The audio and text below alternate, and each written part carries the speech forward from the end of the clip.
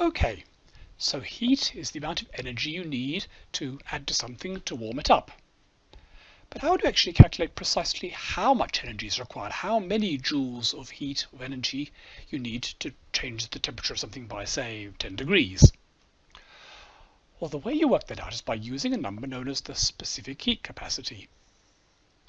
It's written with the letter C, and it's defined as the amount of energy you need to add or subtract to one kilogram of some material to change its temperature by one Kelvin.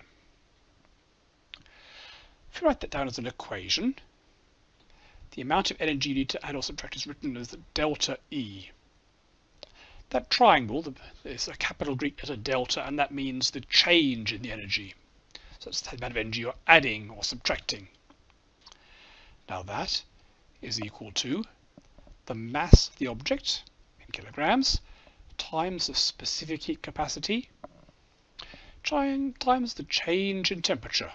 And once again, we're using that big triangle, the capital Greek letter delta, to indicate the change in temperature.